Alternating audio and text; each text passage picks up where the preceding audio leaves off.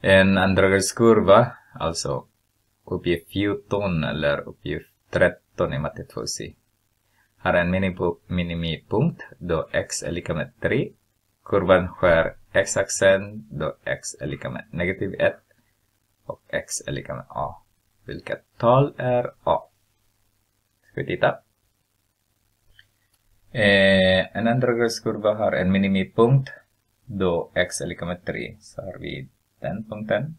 x är lika med 3. Eh, har den minimipunkt. Det betyder också att vår symmetrilinje hittar vi x är lika med 3. Så det spelar ingen hur det ser ut, men minimipunkten är när x är lika med 3. Så här är eh, symmetrilinjen. Och kurvan skär x-axeln. I x lika med negativ 1, där är det.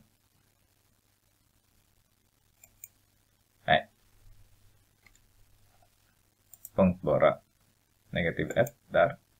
Det betyder att om det här är symmetrilinjen, min A måste vara någonstans på spegelbild av den. Så 1, 2, 3, 4. Så 1, 2, 3, 4. Det måste vara där. X är lika med 7. X är lika med 7 eller A är lika med 7. Så, vilket tal är A? Det är 7.